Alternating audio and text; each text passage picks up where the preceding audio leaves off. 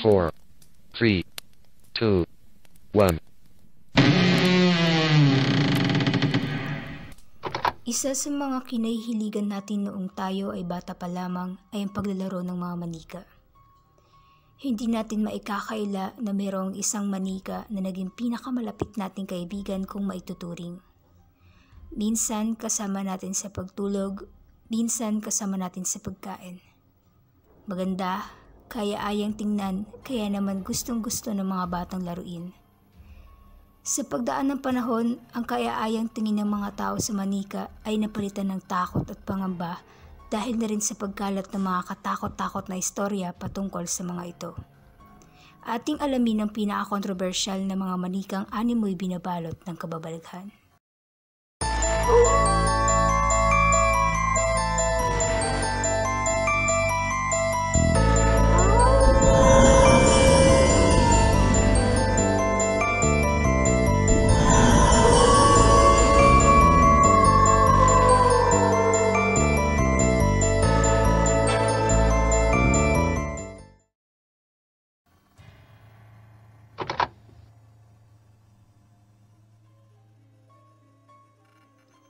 Halos lahat ng mga tao sa panahon ngayon ay kilala ang tanyag na si Elmo.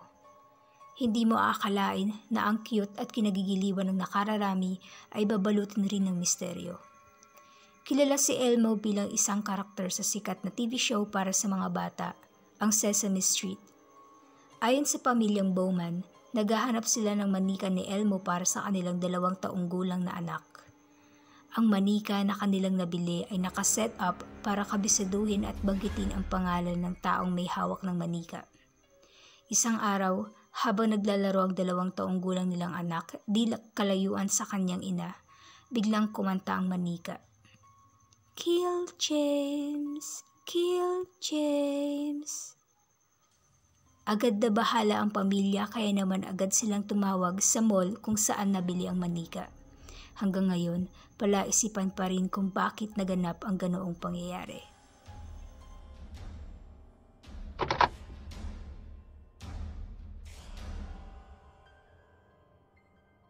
Naging tanyag ang manikang si Amanda matapos kumalat ang iba't ibang kwento mula sa mga taong bumili ng manikang ito sa sikat na online store na eBay. Hindi matukoy kung saan nagmula ang manika pero ayon sa mga taong mga dating nagmamay-ari kay Amanda, ang manika ay may dalang kamalasan sa pamilya nila. Madalas nilang makitang gumalaw ang manika sa loob ng kanilang bahay at madalas nilang makitang may marka ng kalmot sa glass case na pinaglalagyan ni Amanda.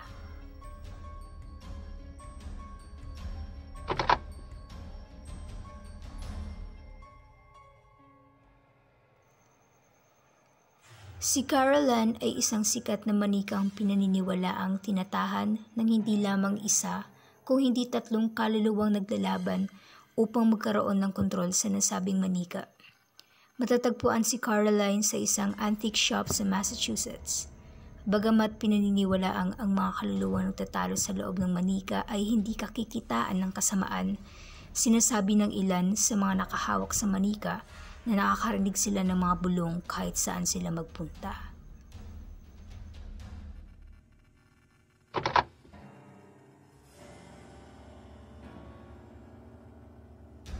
Taong 1880 nang gawin ang manikang si Amelia, ang isa sa mga pinakamatandang manika sa buong mundo. Paniniwala ang ang manika ay nahawakan ng isa sa mga naging hari ng Italy kaya naman kilala ito ngayon sa buong mundo. Dahil sa katagalan nito at sa mga humawak na mga ninuno ng iba't ibang lugar, hindi maiiwasang sapian ng kakaibang elemento si Amelia. Ang manika ay naririnig na umiiyak tuwing gabi, hinahanap ang kanyang nanay. Ayon sa may hawak ng manika ngayon, ang voice box na nakabit sa likod ng manika ay matagal nang hindi gumagana.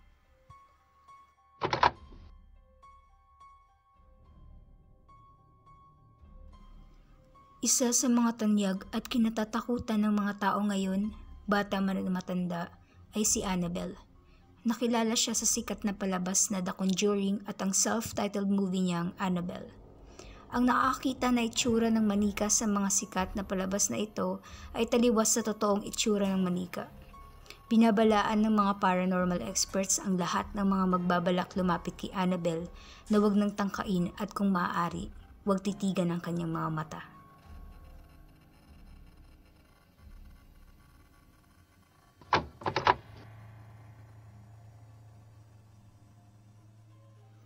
Naging tanyag ang manikang si Mandy matapos siyang ibigay ng dating nagmamay-ari ng manika sa museo sa Colombia dahil sa paniniwalang ang manika ay sinasaniban ng katakot-takot na espiritu.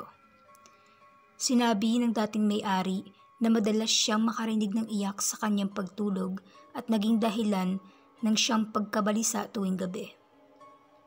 Noong binigay niya ang manika, nawala ang pag-iyak at ang lahat ng mga negatibong bagay sa kanyang bahay. Ilang reports sa museo ang nagsabing madalas nila marinig ang mga yapak ng munting manika tuwing gabi.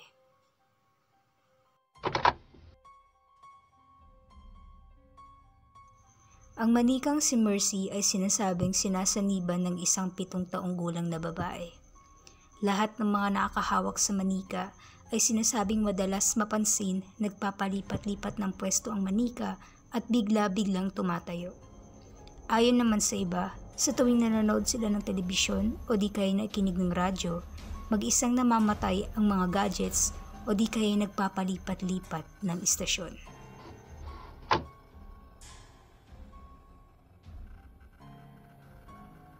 Natagpuan ang isang manikang may takip na tela sa muka na nakahandusay sa gilid ng daan sa Singapore.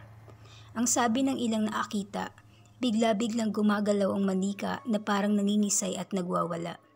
Ang ilan sa mga naasaksi ay nagsabing naririnig nila na may sinasabi ang manika gamit ang matinis na boses ng isang babae. Ayon sa mga kwento sa kanilang lugar, tinakpan ng dating may-ari ng manika ang mukha nito upang hindi siya masundan. Ayon din sa kwento, ang sinong mang magtatanggal ng piring sa mata nito ay susundan ng manika habang buhay.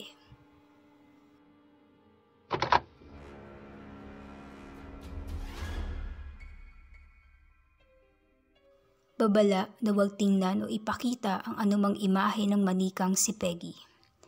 Si Peggy ay isang manikang sinasabing may negatibong epekto sa lahat ng mga maakita sa kanya kahit gano'n pa ito kalayo nang ilabas ang kanyang litrato noon sa social media, ang halos 80 katao na naakita sa kanyang imahe ay nakaramdam ng pananakit ng ulo, pagkabalisa, at maging ang pagpapakita ng kung ano-anong imahe sa kanilang utak. Sabi ng karamihan, imahe ng iisang lugar na parang isang mental institution ang kanilang nakita. Ayon sa isang report, isang babae ang namatay dahil sa cardiac arrest pagkatapos niyang manood ng ilang mga videos ng manikang si Peggy.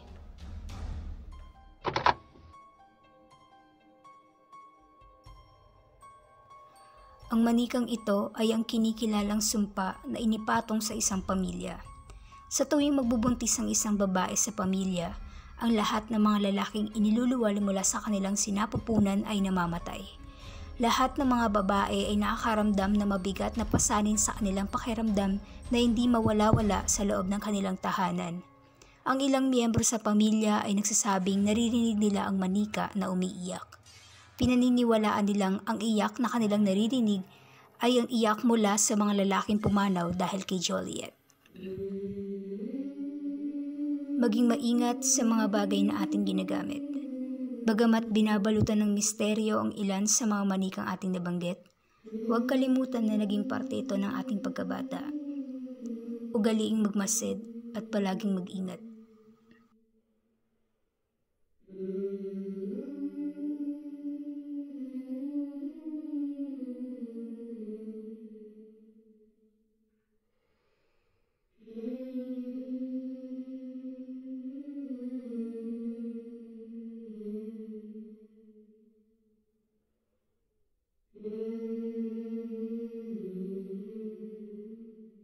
Nagustuhan niyo ba ang inyong mga narinig?